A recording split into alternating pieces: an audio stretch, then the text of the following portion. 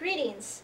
This video is to explain the process of booking and releasing along with the process of bailing out of jail here in Torrance. When someone is arrested by the Torrance Police Department officers, he or she will be taken to the Torrance Police Department jailhouse.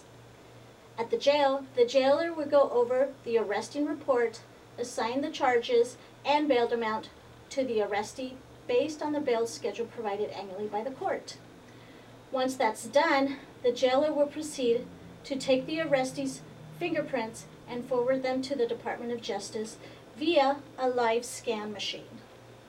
Until the results of the fingerprints are back, the arrestee will remain in custody at a secured jail cell. Once the results are back and the person in jail is found clear of bail, the jailer will release the charges and the bail amount to a licensed bail agent. Normally, this process can take up to four hours. You may ask, how do I get an arrestee out of jail using a bail bond?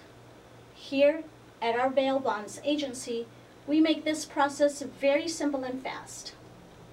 To furnish a bail bond, we will require from a bailing party to provide us with one, a valid ID of the person signing responsibility, two, the person signing responsibility to sign an indemnity agreement, three, to arrange for a way to pay the state mandated premium for the bail bond. Keep in mind, we also provide payment plans. Once that is completed, your agent will contact the jailer and provide him with all the documents necessary to release the defendant.